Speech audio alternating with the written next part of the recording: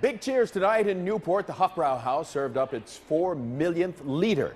People packed the pub for the chance to win a prize if they were the lucky one to buy that record beer.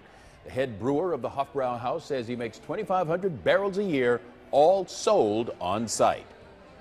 That, that in itself is a record because we do not distribute in kegs, we don't do growlers, we don't do bottles.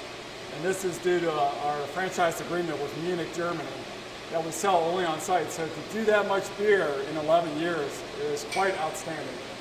Customers flooded the bar with orders hoping to buy that winning leader. In addition to the tasty brew, customers enjoyed entertainment, including a live band.